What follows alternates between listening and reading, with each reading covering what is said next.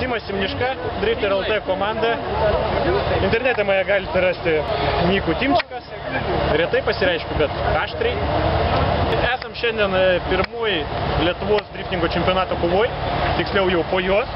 E, Nugalėtojas žvaigždė šiandien susisuko teigiamą man kryptimi ir vis dėlto tapau aš. O tikrai buvos kovos, nepaisant pirmo važiavimo. Jaučiuosi Esi duknukas. Jaučiuosi, taip, mano mašina, mano mašina, jo, neretai Lietuvoje paklausia, kas tai automobilis. Tai yra Lexus S300 amerikietiškas modelis iš esmės, į kurį sugrūsta Toyota Supros.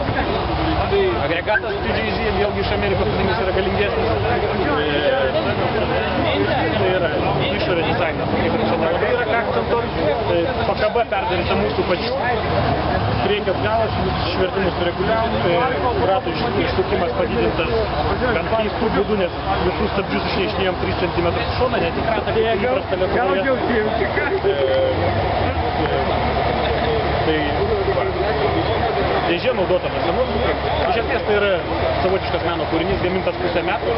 Gamintas ne vieno žmogaus, nesamdytų žmonių, o žmonių dirbančių be algos, realiai tai yra mūsų komanda Drifter Bijau sumeluoti sakydamas, kiek darbo valandų praėjo žmonių, bet tikrai labai daug.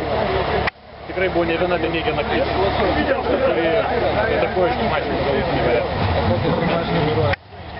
Kasdieną?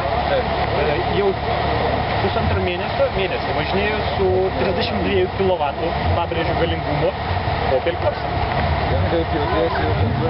E, santūriai, buvo iš esmės, nu, manau, kad viskam yra savo vieta, varžyboms yra lenktyniavimas yra viena vieta, tai yra trasa, ar tai aikštelė. Tyliai šnekat, naktis,